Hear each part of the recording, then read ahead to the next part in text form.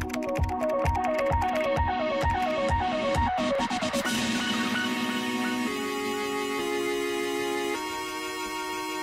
you.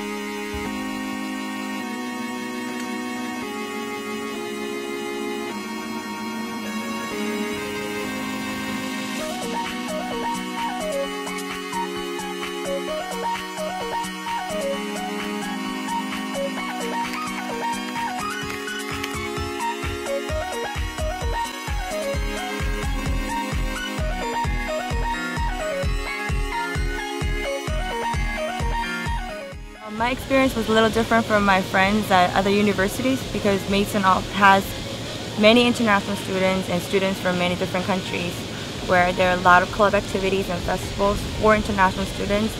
Um, having Mason students engage with each other and learn about the different cultures.